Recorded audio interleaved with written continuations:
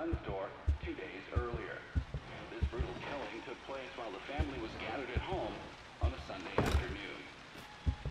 The day of the crime, the father went to the trunk of his car, retrieved the rifle, and shot his wife as she was cleaning up the kitchen after lunch. When his 10-year-old son came